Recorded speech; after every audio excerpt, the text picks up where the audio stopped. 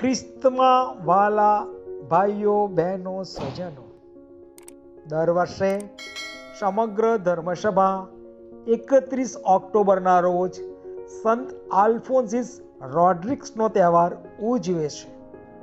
તેમનો જન્મ પચીસ જુલાઈ પંદરસો બત્રીસમાં સ્પેનના સેગોવિયા ખાતે થયો હતો. નાનપણથી જ તેમનું જીવન પ્રાર્થનામય હતું. ભક્તિમય હતું. તે પ્રભુના વચનોને વાંચતા હતા. દસ વર્ષની ઉંમરે તેમણે ખ્રિસ્ત પ્રસાદ સંસ્કાર ગ્રહણ કર્યો. જ્યારે તે ચૌદ વર્ષના થયા, ત્યારે તેમના માતા પિતાનું અવસાન થયું. માતા પિતાનું અવસાન થવાથી કુટુંબનો વ્યવસાય ચલાવવા માટે તેમણે શાળા છોડી દીધી. છવ્વીસ વર્ષની ઉંમરે તેમણે મારિયા સુવારેઝ સાથે લગ્ન કર્યું. જેમને ત્રણ સંતાનો પણ હતા. લગ્નના થોડા વર્ષો પછી તેમની પત્ની અને બાળકોનું પણ મૃત્યુ થઈ ગયું.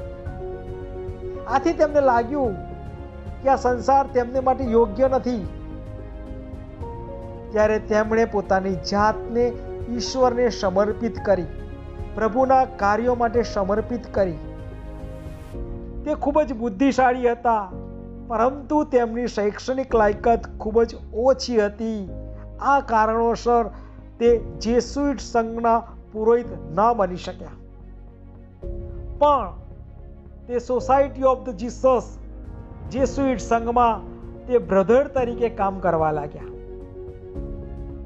અને તેમણે મેઝરકા ખાતે જેસુઇટ કોલેજના ડોર ક્રીપર તરીકે સેવા કરવાનું ચાલુ કર્યું. પિસ્તાલીસ વર્ષો સુધી તેમણે ડોરકીપર તરીકે સેવા બજાવી. અને તેઓ લોકોના આવવા જવાનો સમય નહોતા, લોકો માટે દરવાજો ખોલતા આ કામ તેમણે ખૂબ જ પ્રેમથી અને ચોકસાઈથી કર્યું.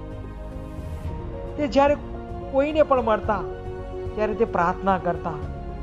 કારણ તે જે કાર્ય કરતા હતા તે તેમને ઈશ્વરની પ્રાર્થના લાગતી હતી. તેમની પવિત્રતા અને પ્રાર્થનામય જીવન જોઈને સંત પીટર ક્લેવર પણ તેમનાથી આકર્ષાયા. સરળ સેવા અને પ્રાર્થના દ્વારા તેમને આનંદ મળતો, સંતોષ મળતો હતો.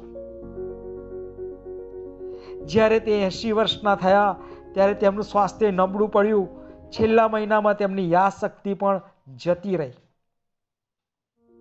તેમનું મૃત્યુ એકત્રીસ ઓક્ટોબર સોળસો સત્તરમાં થયું. તેમને પોપ લિયો બાર પોપ લિયો બારમાએ અઢારસો પચીસમાં તેમને સુધન્ય જાહેર કર્યા. અને પંદર જાન્યુઆરી અઢારસો ઇઠ્યાસીમાં સંત પોપ લિયો તેરમાએ તેમને સંત જાહેર કર્યા. તેઓ મેઝરકાના આશ્રયદાતા સંત છે. તેમના અવશેષોને સ્પેનના મેઝરકા ખાતે રાખવામાં આવેલા છે. આવો ખ્રિસ્તમાં વાલા ભાઈઓ, બહેનો, આપણે પ્રાર્થના કરીએ આ સંતની મધ્યસ્થીથી કે આપણું જીવન પણ પ્રભુના કાર્યો માટે સમર્પિત કરીએ અને આપણા બધા કાર્યો પ્રભુ દ્વારા કરીએ.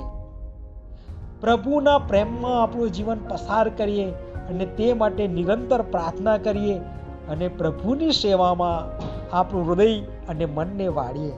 જઈશું આમીન.